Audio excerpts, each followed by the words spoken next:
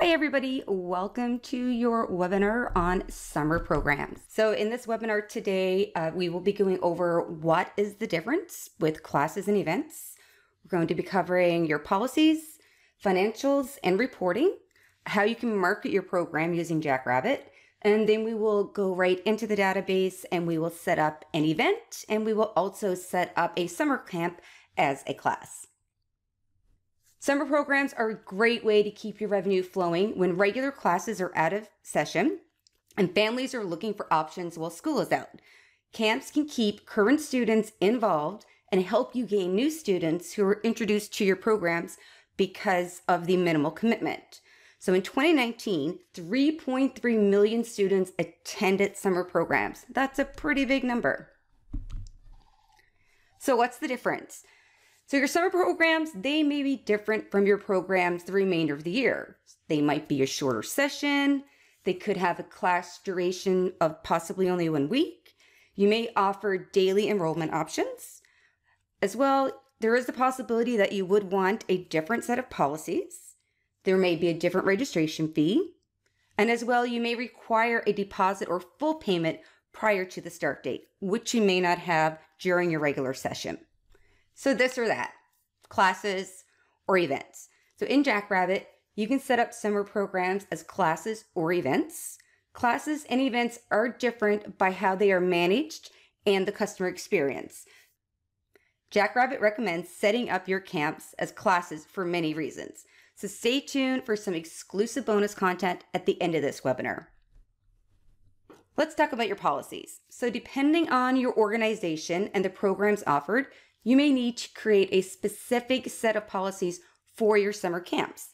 Some additional considerations when you're thinking about your policies may be your cancellation or refund policy may differ from your regular program policy and may include your right to cancel a specific camp due to insufficient enrollment.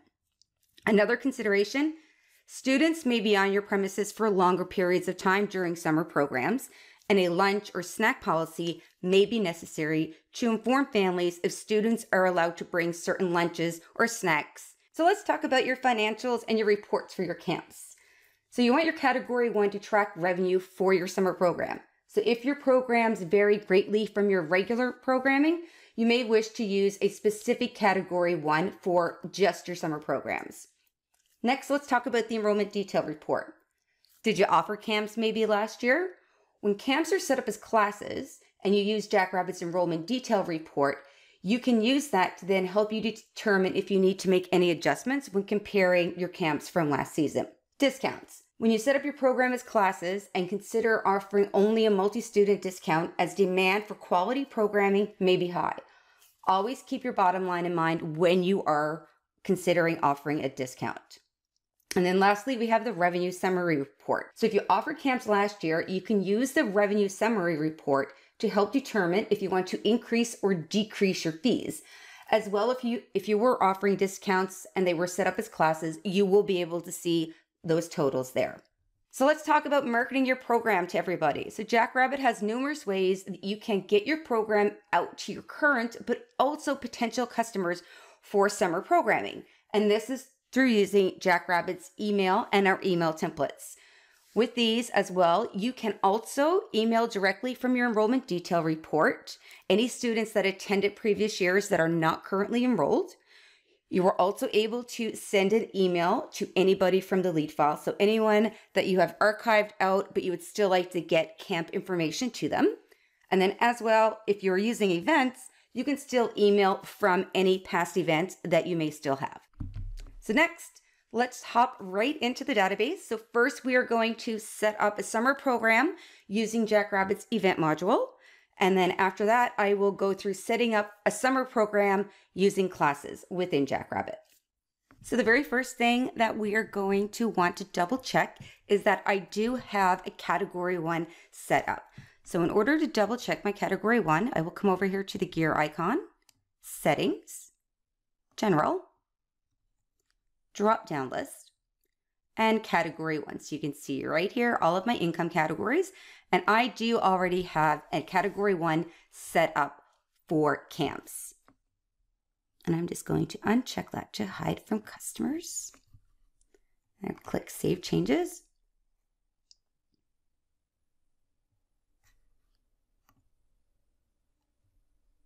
So before we go ahead and set up an event, I also want to remind you that if you were to come here to your events, list your event types, you could go ahead and just without having to go in and fully recreate everything, you could add dates. So I'm just going to come down here to this one on the bottom, Summer Fun Day. And then if I want it, so everything here is already set up. I would just want to come in here and add some date and times for this season. So I'm just going to come out of here. So next, let's just look at setting up a brand new event. So I'm going to click on Add Event Type. We're going to call this Summer Camp 2022. And my category one, I want that to be for camp. And then I'm going to click Save. So looking at your events, it does kind of already look very familiar, just like it would as if you're setting up a class. So we'll just go from top to bottom and left to right on all of our tabs. So first on our summary tab, you can see in the beginning, I already had when I set it up, that was my location for cheer. And then I'm going to add my fee. Let's just keep it simple at $100. And then do I want to allow enrollment for a family or is it $100 per student? So I am going to say student. If I want, I could add minimum and maximum ages and with my cutoff date, and those dates work exactly the same as they would on a class. If I wanted to add additional categories, so two or three, I could go ahead and add them there. And then we've got my maximum size. So let's just say for this one, we keep it small at 10. Next we have, do you require parents to save a payment method before enrolling into this event type? So do you want their credit card, debit card information, or their bank account information? You can have both or either or. And the next, when your transactions post. So post event fee per, and then I'll show you this drop down here. So do not post a fee, post it per family, post it per student. I'm going to say per student. I can also add a session. So if my session, if I want it to be 2022 summer camp, I already had this one set up. My transaction type, so what is this? So technically, yes, it is a camp, but this is their tuition fee for the camp. So I'm going to click on that. And if I wanted to add a subtype, I could, as well as any notes. And then next we have display on calendar. So do we want this to display on our internal events calendar? Most often you will want this to be yes. And then what would you like your label to be? So I'm just going to keep it simple and just call it Summer Camp 2022. If I wanted to, I could change the color. So let's just go with something bright here. So now we've got, it's going to show as yellow. Display to customers, yes or no. So I want people to enroll. So I am going to say open dates only. So I only want them to see dates that still have availability in them. And if I wanted to, I could customize my calendar he header and then as well, if I wanted to have an online registration form, graphic URL, and then as well, any additional notification emails. So I actually did see this come into the Facebook users group just last week, and somebody was saying that, you know, how come I never get any notifications on my events? That is where you would add that there.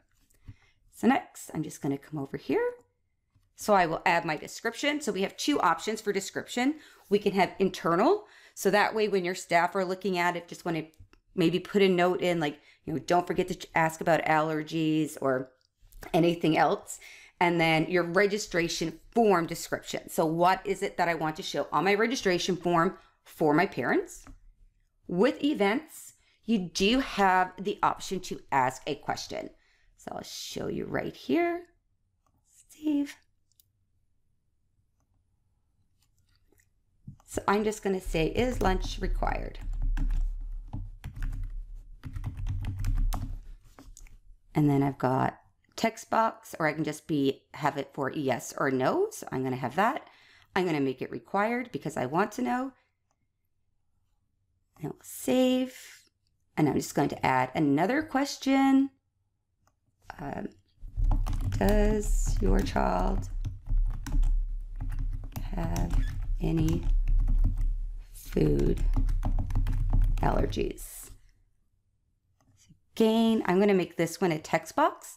That way your parent can say if they have a peanut allergy or a milk allergy, they can actually mm-hmm. type that in for you. And again, I am going to leave that as required. And the next we have your agreements.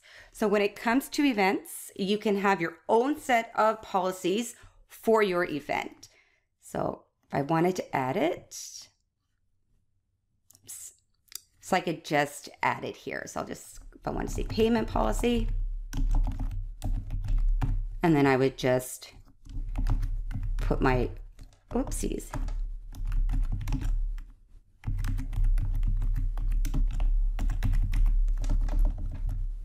Oh,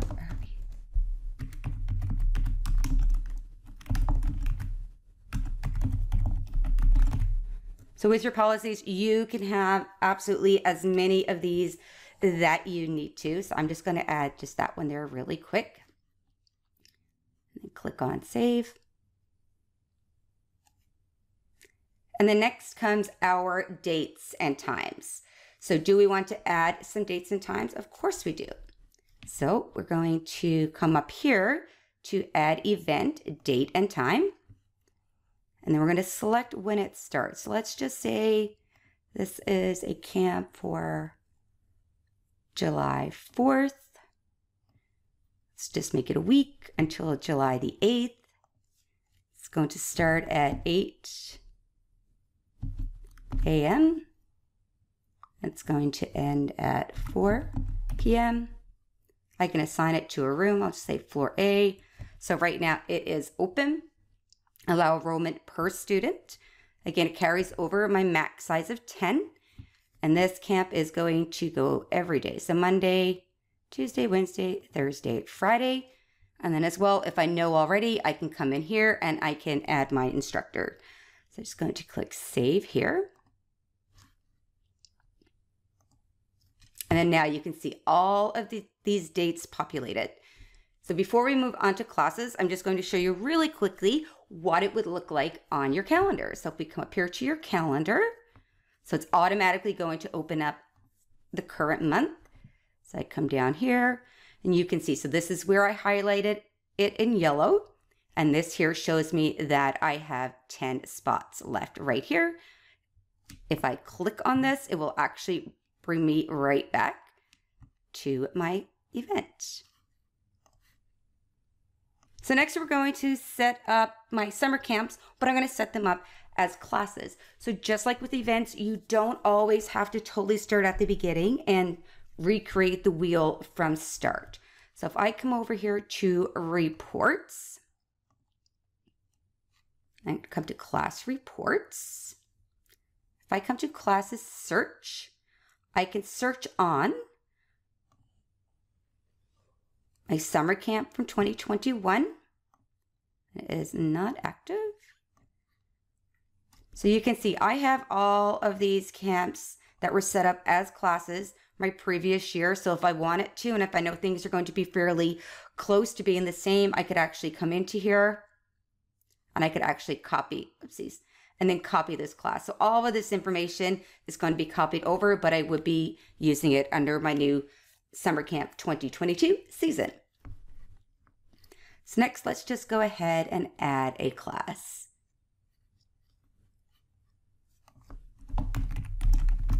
I'm going to call this summer camp class. Just so you can see it again, I can change my location. I can, you know, add that room if I want it to, add my instructor if I want it to. And then my session is going to be summer camp 2022. And then I have my start and my end. So I'm just, again, going to have this one for just this one week. Could just set up the other one. This is the registration date of when registration would have opened. This date automatically pulls in from my session. And then again, what days do I want my class to happen? So I'm going to say it's going to be Monday, Tuesday, Wednesday, Thursday, oopsies, Thursday, and Friday. Let's have it start at the same time. So eight, two, four. And then it will automatically bring up my duration. Does this have a registration fee? No, my camps do not have a registration fee. So I'm going to uncheck that. And then we have our tuition. So let's just say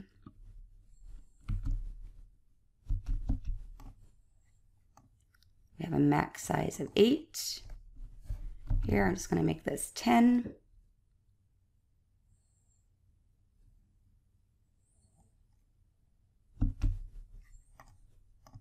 When you are setting up classes, or sorry, your camps as a class, you do have the ability to offer up the wait list. So for right now, I'm just going to make that five. And then my billing method will be by my fee. My billing cycle, I'm just going to put it to monthly. You can have whatever billing cycle that you want. And then again, if I want to copy over my policy groups, I can right away. So I am actually, I already have a policy group in there. So I'm just going to go ahead and click on December 22. Is it displayed on my website? Yes. Do I allow portal enrollment? Yes. Do I allow trials for this camp? No, I do not. And then do I want to allow online registration? So let's save this one. Now, once I have this class saved, you'll notice that I do have another option when it comes to my tuition fee. So I can actually set up my camp as a per day. So right now for this entire week, it is saying that it is going to be $100 from Monday to Friday. If I wanted to select per day, I could change this to yes. And then you'll now see it automatically brings in that 100 for one day. But if I wanted to, I could say, you know what? They take one day, it's $20. If they take two days, it's 40. Three is 60. Four is 80. If they take all five days, it's 100. So this way, when people register, they can register for just one day or two days. It will still be the same time. And then again, it's still by my class fee. I am deciding to not offer any discounts. If I did, I could pull this down here and I could add my multi-class, my multi-student discount. But when it comes to my camps, I currently do not offer those. So right here, I can see my number of openings if I need to come in here later on. And it gives me my openings per day. So if I had two people register right now for Monday and then one person register for Wednesday, it would show eight on uh, Monday, and then nine for the Wednesday. And then just back up here to my category one. And then just like with your uh, camps that you set up as an event, you would add your description. Do you want it to display on your website? Allow registration, enrollment, trials, all of those are the same. You do have the option when setting up a camp as a class to add a, a video URL. So maybe your camps this year are going to be hybrid and you want to have students from all over the world attend virtually. You could absolutely do that by putting in a Zoom link right here. So I'm just going to save these changes.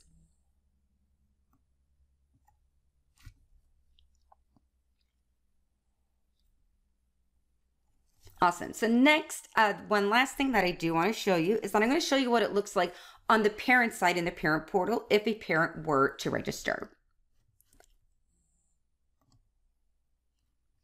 So you can see right now I am in my parent portal. So when it comes to finding my summer camps, all I would need to do as a parent is come here to find classes.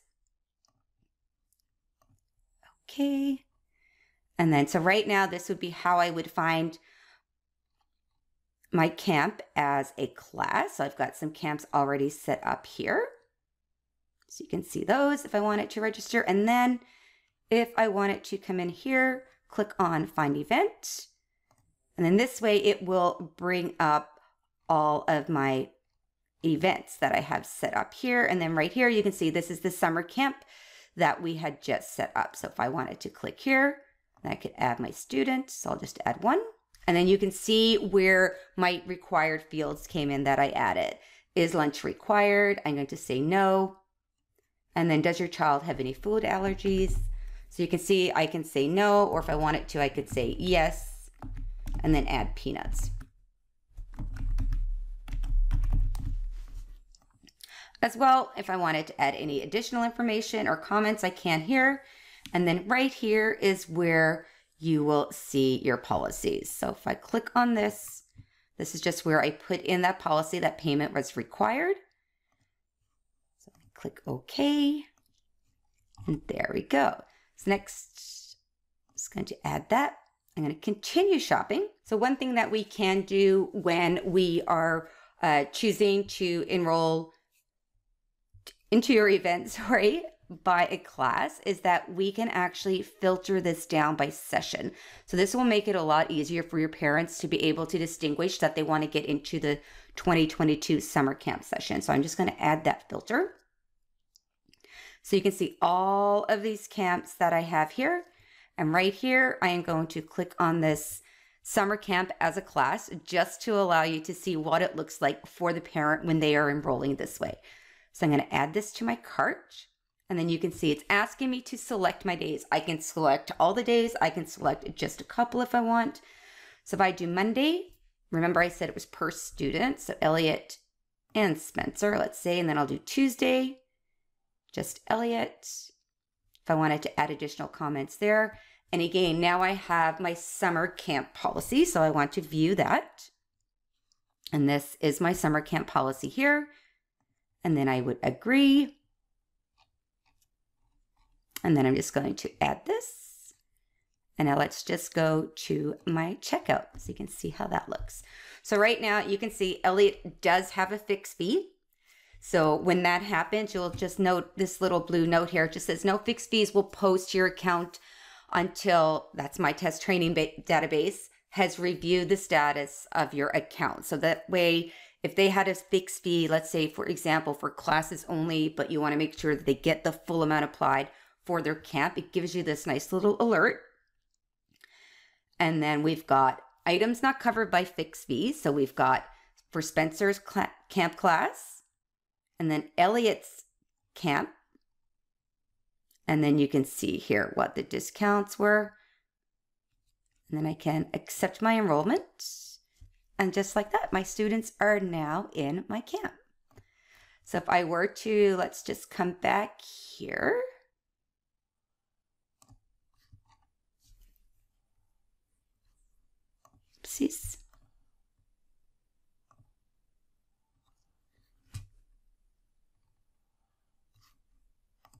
If I were to refresh this, you will now see. So I have my sizes now show up right here for me. So that is everything, everybody, when it comes to, you know, going through setting up your classes as a camp or an event.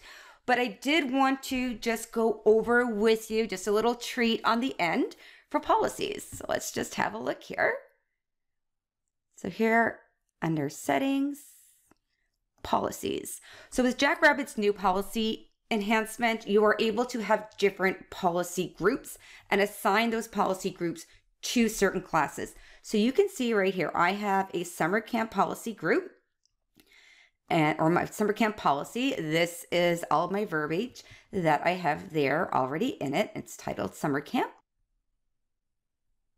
You can see I've got these groups and then these are the classes. I'm just going to squeeze in this grid. So you can see which classes I have that policy assigned to right here. So all of these camp classes all have those policies there. So if you want it, you could actually add to your policy group by selecting other policies, maybe some of your policies from your regular regular season, such as your photo and video release, they may actually apply to your summer camps. And then you can go ahead and edit those groups. So right there, so if I were to come here to my summer camp and I want to add something to it, I could just add it there. And that is it, everybody. Thank you for attending.